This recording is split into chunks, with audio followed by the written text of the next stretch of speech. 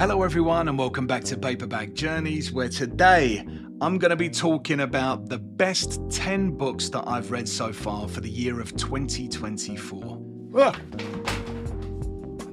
Knew that was going to happen. Don't worry, no books were harmed in the filming of this YouTube video, alright? So this is a list that I update every month uh, throughout the year on my channel, and I kind of touch on the titles on the list, but today I just want to talk about why these books were so great. Why are they on the top 10 list uh, for the year so far? So uh, anyway, let's get started with number 10. Okay, so number 10, barely holding on to its top 10 spot is Golden Son by Pierce Brown. So, this is the second book in the Red Rising series. So, I'm not going to be giving any major spoilers or anything like that. Um, is this book a perfect five star read? Not quite, but it's a solid four star read, and I do think that it's an improvement on the first book in the trilogy, which was obviously Red Rising.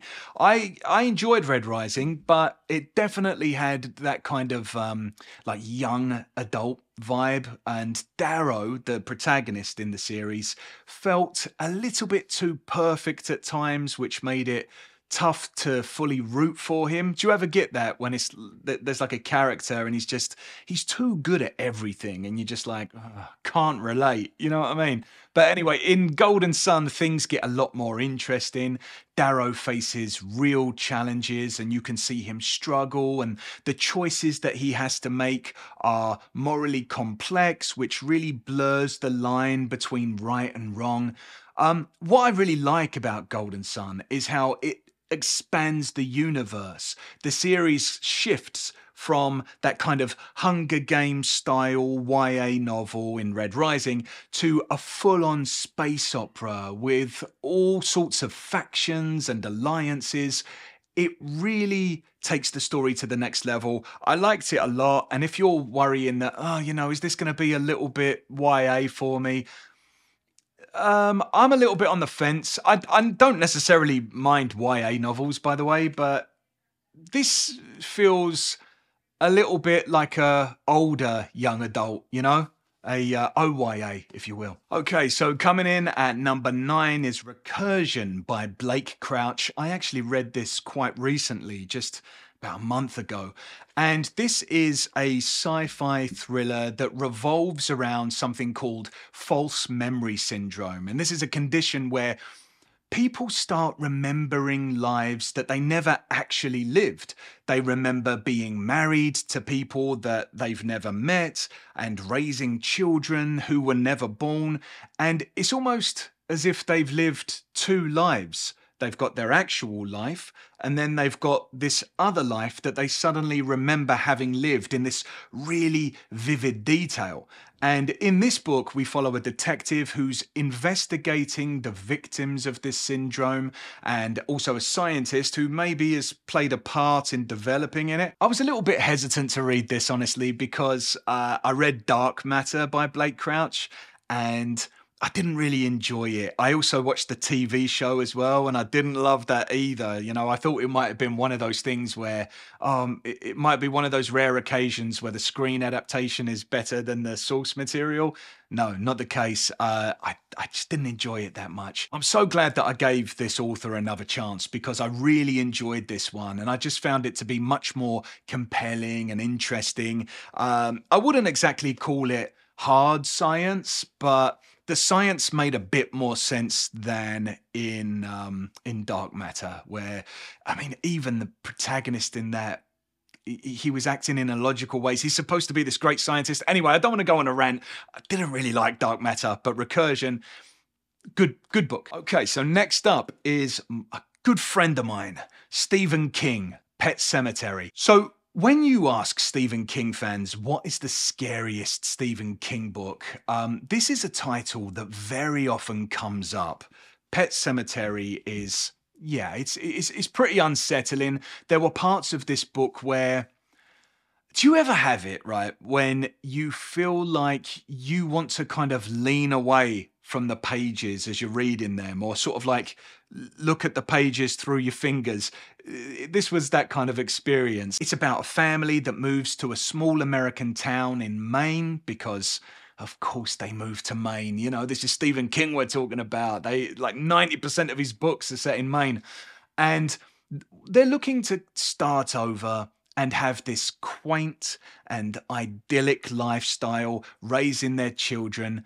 But what they don't know is they're characters in a Stephen King novel, and so things are about to get really bad for them. They discover this kind of mysterious cemetery in the woods near um, the back of their uh, of their new home, where all of the town pets have been buried over the years.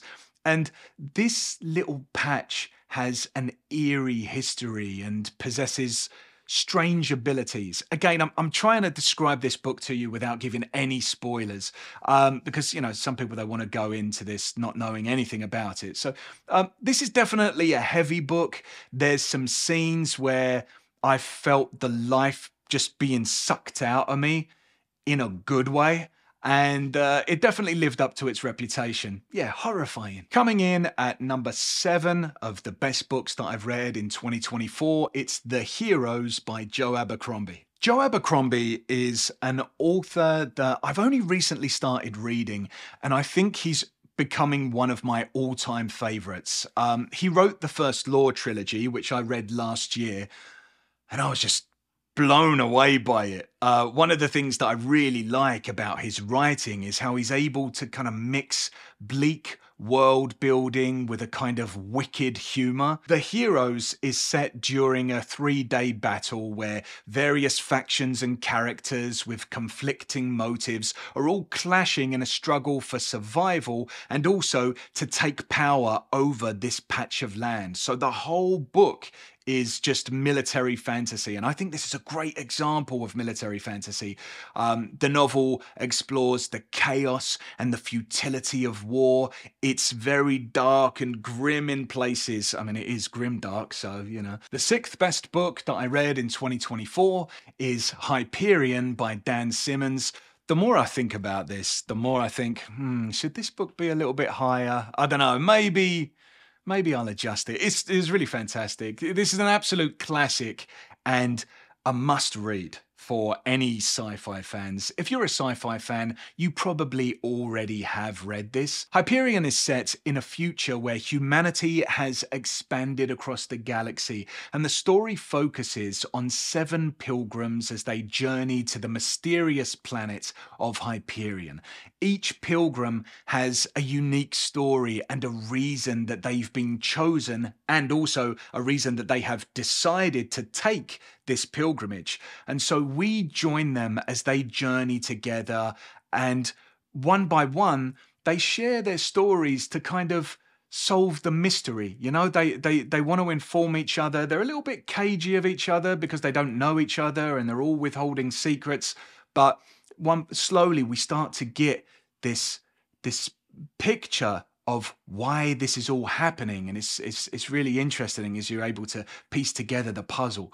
Um, that's really what this book is. It's just a collection of short stories as slowly we put the pieces of the puzzle together and we see that each of their lives are kind of interconnected in some way. One thing i'll say as well is that if you're thinking about reading this book keep an open mind uh, because the first 50 pages or so can be a little bit tough. There's a lot of new ideas and technologies that are revealed all at once, and I personally found it to be a little bit overwhelming to begin with. But I think if you stick with it, the story becomes much more rewarding as everything starts to make sense. That's kind of really the pleasure of it. Overall, Hyperion does what I want sci fi to do, and that's to create a world and invite me to spend some time there. This book is just pure, rich, escapism with some fantastic characters living really interesting lives.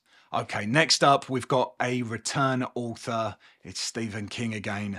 Misery by Stephen King. A lot of you are going to be very familiar with Misery. Even if you haven't read the book, you might have seen the movie with amazing performances by James Caan and an Oscar winning performance by Kathy Bates as Annie Wilkes. I actually didn't know that she'd won the Oscar until recently, and she deserved it as well. She was fantastic in that film. This book is about a famous author named Paul Sheldon who is kidnapped by his biggest fan, his number one fan, Annie Wilkes. After she rescues him, uh, Paul is very grateful, but then he starts to suspect that she might be a little bit mental, and his suspicion is correct. She is a little bit mental. She basically forces Paul to write her a new book just for her while keeping him trapped inside her house, and things get really uh, scary as Paul tries to just find some way to escape this situation. The thing I loved most about this book is Annie. She's actually one of my favorite Stephen King villains of all time. Annie Wilkes is, I think, really terrifying because of how quickly she sh- shifts from being kind and nurturing and kind of motherly to wrathful and capable of extreme violence with little to no provocation. And uh, this kind of like unpredictability creates constant tension as you never know when she's about to snap. As you read this, it's told through the eyes of Paul Sheldon and so that's our perspective, kind of looking up at Annie as is she going to go? Is she going to go? Oh, oh, it's, it's terrifying. Okay, number four is Best Served Cold by Joe Abercrombie again. So, listen, I've committed a bit of a sin here. Normally, with these top 10 lists, sometimes people don't like to have repeat authors. I've done it twice. It won't happen again. But this book, you know, what can I say? It's just really fantastic. Um, it's about a character named Monza Murcatto. She is a mercenary who works for a very powerful employer until she's betrayed and left for dead after surviving that betrayal um, and that kind of like assassination attempt, she finds a brand new purpose to her life, and that purpose is revenge. She's determined to take down her old gang, uh, all of those people who wronged her. And so she gathers the skills and the allies that she needs to take her vengeance. I think if you're into Quentin Tarantino's Kill Bill, it's actually my wife's favorite film of all time. Um, I think if you like that film, you're probably going to enjoy this story as well. It's kind of like uh, like Kill Bill meets Game of Thrones. Plus, fans of Joe Abercrombie's other works, like The First Law, are going to be really happy to see like these familiar faces, these characters from the First Law trilogy making a reappearance. That's one of the really, uh, what I already spoke about. One of the things I like about Joe Abercrombie, but one of the other things that I like is that he kind of is able to repurpose characters and having a lot of um, crossover characters popping their heads into the books or playing prominent roles. Maybe before they were just a little background character and now this is their story. So, yeah, he's good at kind of creating this massive universe. All of his books are just set in the same universe and it's it's great. I love I love being there. I love being there. Okay, so we're about to talk about my top 3 books that I've read in the year of 2024. Just before I do that, this top 10 list is something that I update every month throughout the year. And so if you're interested to see what books get added as we progress into the latter half of the year, please make sure that you subscribe and hit the notification bell so that you uh, yeah, you get notified whenever I do a review or whenever I update the top 10 list. I'm reading a couple of books this month that I'm pretty sure are going to end up on the top 10 list by the end of this month. So uh, honestly, I'm not sure how many of these books are going to end up on the top 10 list by the end of the year. It, it, it, could potentially look completely different. I'll say this though, I think that the top three are going to be really hard to beat. So let's get on to them now, starting with the third best book that I've read for the year of 2024. And that is Death of a Salesman by Arthur Miller. So, this book is about Willy Loman, a struggling salesman trying to support his family Um, and we find him at a time where he's a little bit older. Maybe he's lost a little bit of that salesman magic. It's not working the way that it used to. He's become kind of disillusioned with his job and even the ideals of the American dream. And I gotta say, like, I, I found this story to be incredibly impactful on an emotional level because I think it reflects something that a lot of people can relate to. And that's the idea that, you know, you can work hard and you can give everything and yet still not see the, see not, still not see uh, the fruits of your efforts, you know, all of your efforts go unrewarded. And it's about kind of doing everything that you think you should do only to watch it all fall apart. Uh, yeah, and that's that's hard to watch for characters that the author very early on makes you care about. There are conversations between the characters, really that the characters is just like one family. It's a father, a mother, and two sons. Um, and some of these conversations that they have reminded me of things that I'd heard from friends and family when I was growing up. Uh, and I think what's truly sad about it is that even though Willy Loman sees that things aren't going as he planned, he still kind of clings on to this dream that he has. And it's that very clinging on that's that's hurting him. If he just kind of let go and released some of his expectations, maybe it would be all right. But yeah, and so we just kind of it, it that's it's, it's, really difficult actually. Um, but yeah, I, I think the story's uh, the story is heartbreaking, but it's also beautiful and insightful. I'll say one other thing as well. It's in a little bit of an unusual format since it's written as a play. Um, with character, dialogue, and even stage directions as well. But I, that never really took me out of the story, you know? It's a book that, I mean, look, it's tiny you can get through this really quickly. You can probably read this in an afternoon with a cup of coffee, you know, nice little bit of cake. And it's going to stick with you long after. And I highly recommend it. Okay, so number two is The Dark Forest by Cixin Liu. So, this is the sequel to The Three Body Problem. Again, since it's a sequel, I won't dive into too much detail about the plot. I will say that this is one of the best examples of cosmic horror that I've ever read. If you've seen the Netflix series, which covers most of the first book, I can tell you that things get even crazier and more interesting and more advanced in the second installment. Um, the book focuses more on ideas and speculative science fiction than on character de- development. The characters are, you know, they're kind of weak, honestly. It's. They, they, but that's not the idea of this book. Um, it's really about the concepts that are explored, especially about how humanity might react to an existential threat. It's absolutely captivating. Normally, I'm all about character driven stories, but this one was just fantastic with the ideas that it explores. And in my opinion, the second book is probably the best book in the trilogy. I've finished the trilogy now, and The Dark Forest was my favorite one. Okay, so that brings us to the best book that I've read in 2024 so far. This is also one of the best books that I've ever read. And I believe that this is Stephen King's favourite book of all time. I could be wrong about that, but I heard a little rumour that this is Stephen King's favourite book. And that book is Lonesome Dove by Larry McMurtry.